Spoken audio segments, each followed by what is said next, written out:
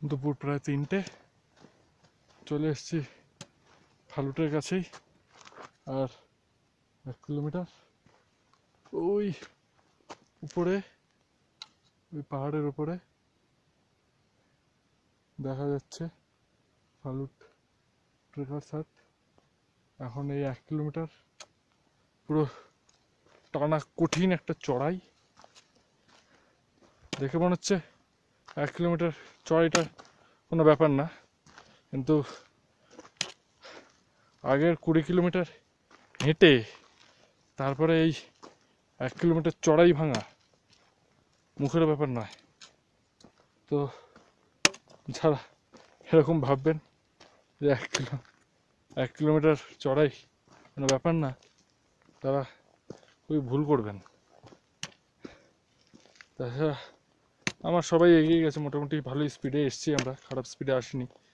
কিন্তু আমার পায়ে চোট লাগাতে আমাকে খুব ধীরে ধীরে উঠতে হচ্ছে। সবাই উঠে গেছে, টানা পুরো খাড়াই আছে এখন। এখন অত পর্যন্ত পুরো উঠতে হবে।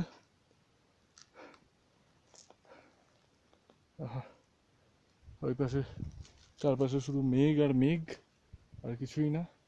রেঞ্জটা কোন দিক দিয়ে দেখা যাবে? এখনও জানি না বাট যদি বিকেলবেলা পসিবল হয়, তাহলে দেখিয়ে দেবো। এই এক কিলোমিটার এখন কী করে উঠবো ভেবে পাচ্ছি না। জাস্ট মানে কিছু মনে করবেন না জাস্ট ফেটে যাচ্ছে।